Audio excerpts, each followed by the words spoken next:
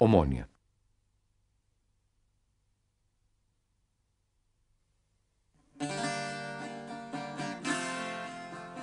Από όλες όμως τις πλατείες μία ξέρω καλά. Παρόλες τις αλλαγές που μεσολάβησαν και ας έφυγαν τα ανθοπολία και ασκόπηκαν δέντρα και προσθέθηκε η υπόγεια στοά. Εκείνη μένει αναλύωτη. Είναι η Ομόνια, η πιο κεντρική και πιο λαϊκή, ο ομφαλός της χώρας. Αυτή που δεν έχει μόνιμους θαμώνες, δέντρα, μνημεία. Εκεί μαζεύονται οι επαρχιώτες που ήρθαν να βρουν την τύχη τους στην Αθήνα.